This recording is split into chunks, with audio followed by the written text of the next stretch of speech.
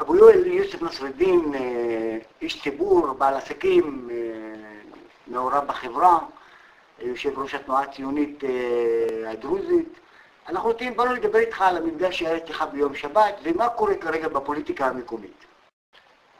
קודם כל, נעמתם לי מאוד בזה שבאתם לי כאן, ויום שבת לא היה, לא כנס, היה בסך הכל קבוצה של חברים מדליה ועוספיא ביקשו ממני לבוא ולהתייעץ מה הולך לקרות בעתיד על ידי הדבר המצער ביותר שקוראים לו פירוק דליה מעוספיא.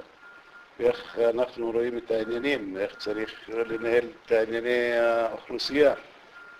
היה שני חברי כנסת לשעבר, אמן נסרדין ואיוב קרא, היה ראש העיר, ועוד כמה אנשים, אנשים, עסקנים, פעילים. כאילו, ראש העיר יזם את המפגש הזה, או שאתה יזמת אותו? לא, מי שיזם את זה כמה חבר'ה שהם מדליה ועוספיא, חבר'ה שהם מעניין אותם, רוצים לדעת מה קורה. למה דווקא אצלך? כי אני יושב ראש התנועה למען דלית כרמל ועוספיא, למען הכרמל.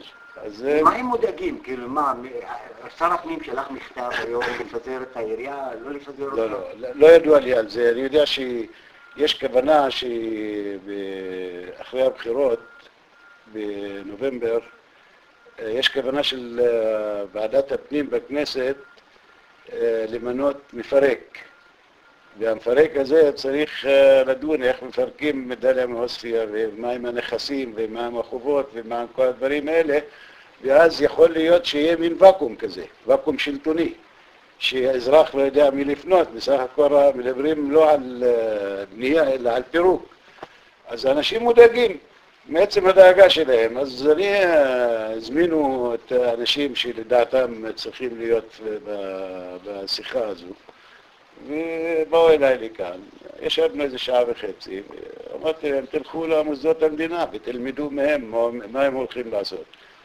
ואם זה מקובל על דעת הרוב בדאליה ועוספיא, ניחא, ואם זה לא מקובל, אז אנחנו נעמוד אה, כמו צוק איתן מול כל דבר שיכול לפגוע באינטרסים של דאלית כרמל ועוספיא. עכשיו, מה, מה קורה כרגע אחרי שיכול להיות שהערב ילכו לפיזור הכנסת?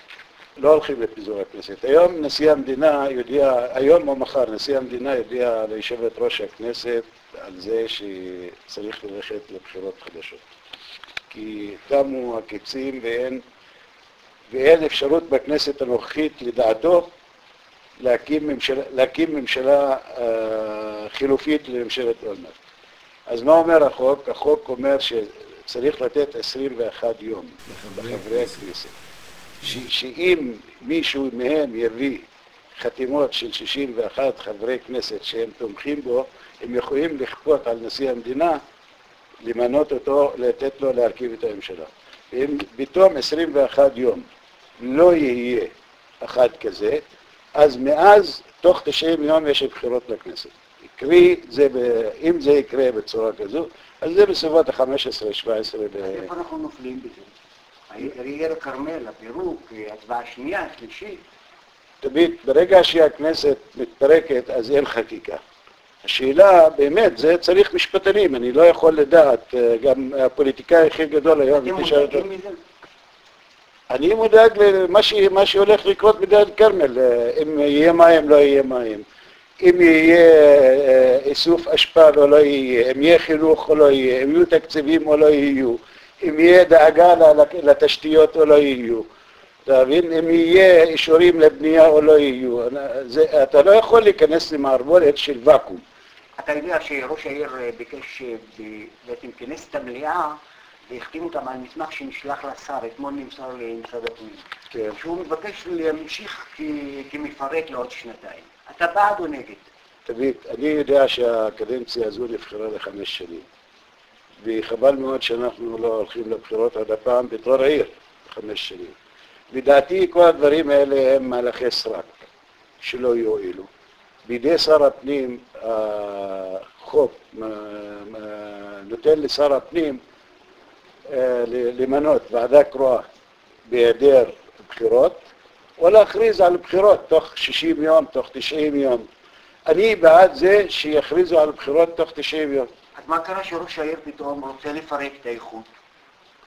תמיד ראש העיר מההתחלה היה מנוגד לדעה שלנו, הוא טוען שבעוספיא לא רוצים אותנו, ואני בדעה אחרת, אולי יש כמה אנשים בעוספיא שהם הרגישו שבסיטואציה הקיימת של איחוד דאליה ועוספיא זה תמהיל יותר מדי כבד עליהם בשביל להיבחר להיות ראש רשות.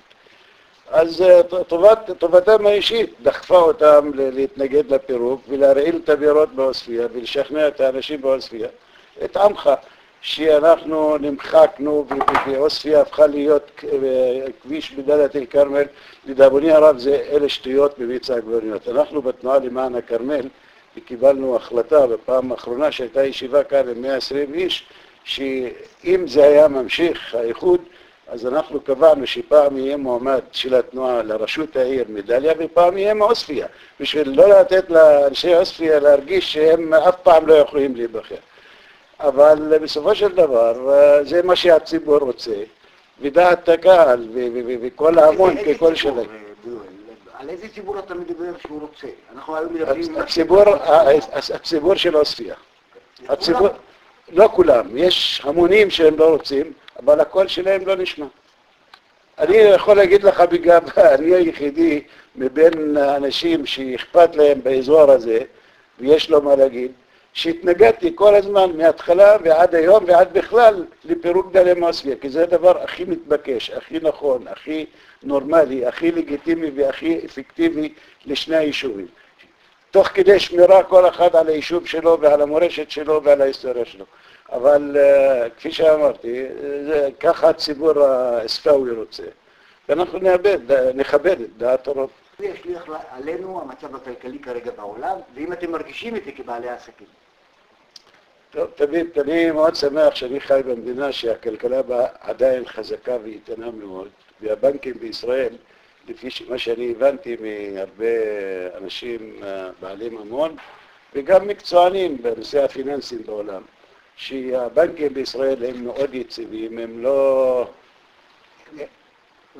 הבנקים, הבנקים בישראל הם לא אנשים, זה לא מוסדות שהם פיקטיביים, כפי שקרה בארצות הברית של אמריקה, כי הם, הבנקים בישראל הם איתנים ורציניים וחזקים ואין שום סיבה ואין שום פחד שהבנקים יתמודדו. אבל מה קורה? אנחנו חלק מהעולם הגלובלי, ואם יהיה מיתון בארצות הברית, אנחנו מייצאים 60% מהייצור הישראלי, מהייצוא הישראלי לארצות הברית, אז האנשים יקנו פחות, או בכלל לא יקנו. אם הם יקנו פחות, זאת אומרת שהתעשייה שלנו היא תמצא את עצמה במצב קשה בשביל לספק או לשווק את התוצרת שלה, אז יצטרכו לצמצם את הפעילות, יצטרכו לפטר עובדים, יצטרכו לזה, לסגור מפעלים. והדבר הזה, בוודאי שיש לו השלכה ישירה לתווית. היום כל מי שיש לו כמה גרושים בכיס, הוא חושב מה יהיה מחר, אז הוא מעדיף היום לא להוציא אותם. זה צעד נכון? בוודאי, תווית זה צעד אנושי. אני לא יודע אם זה נכון או לא נכון, אבל בסופו של דבר, אם האדם הוא זהיר ולא ספקולטיבי ולא מהמר, אז בוודאי שהוא צריך לשמור לעצמו את הגרוש שיש לו היום, אלא שיעשה סדר עדיפויות.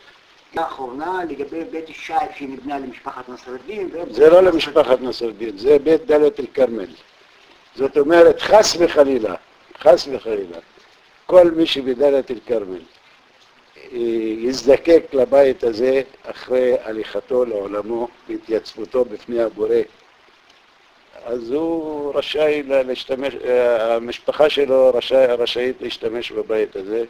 מה שמאפיין את הבית הזה על שאר הבתים שישנם בדלית כרמל, שכולם בתים מכובדים, ואני מאוד מעריך את כל מי שתרם ועשה למענם, שהבית הזה הוא נמצא באזור שיש שם חניה, שזה לא מפריע לשכנים, שזה נותן גם פירוד בין הנשים ובין הגברים, זה שני עולמות, שזה נבנה בצורה לוגית ומכובדת ומודרנית, ואני מקווה שכמה שפחות ישתמשו בו, אבל זה הבית לא למשפחת נסרדין. נכון שאנחנו היינו יוזמים, אבל זה בית לכולם.